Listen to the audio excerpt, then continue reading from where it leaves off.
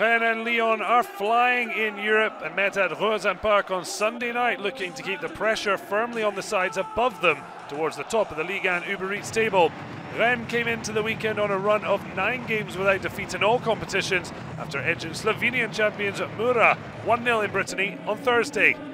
Peter Bosz's side sealed their place in the knockout phase with two group games to spare, but needed better on the domestic part. Bruno Genesio leading Rennes against his former employer with the sides locked on 19 points apiece. The et Noir started in exhilarating fashion.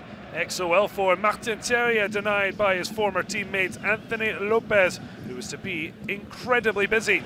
Lyon conceded 17 goals this season, their highest tally at this stage in the top flight since 97 98. How their goal was intact during a fraught first half is anyone's guess. Bosz watching on in alarm. Gaetan Laborde, Terrier, and Birger Meling linking. Once again, Terrier denied. Lopes saving OL's blushes.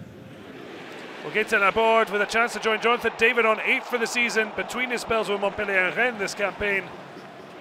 Somehow, Lyon were still level.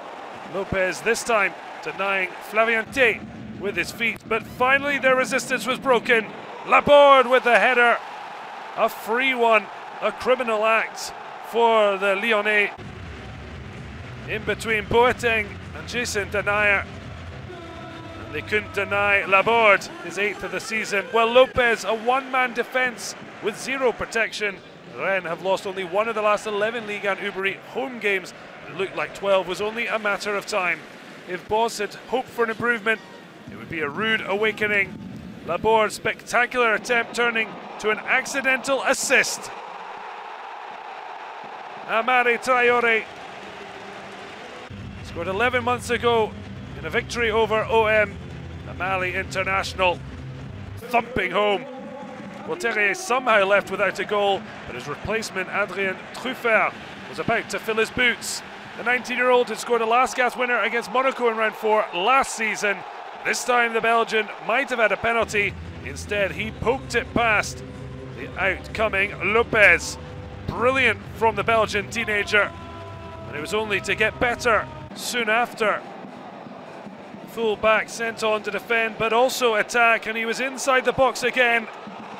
A stunning finish, the best of the lot. 4 0 to Rennes. Lyon lucky, it was only four. Nayef Aguerd spoilt what was otherwise a perfect evening for Les Rouges et Noirs. Penalty for the foul on Lucas Paqueta. The Brazilian netting fifth of the season, but an absolute calamity for Peter Bosz's side. Rennes flying and a huge stride towards the podium, fifth, just two points from Lens in second.